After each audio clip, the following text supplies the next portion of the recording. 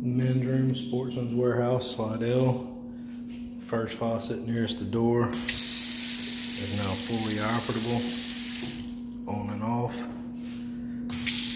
Middle faucet, on and off. And the end faucet, on and off. All three were checked for proper operation.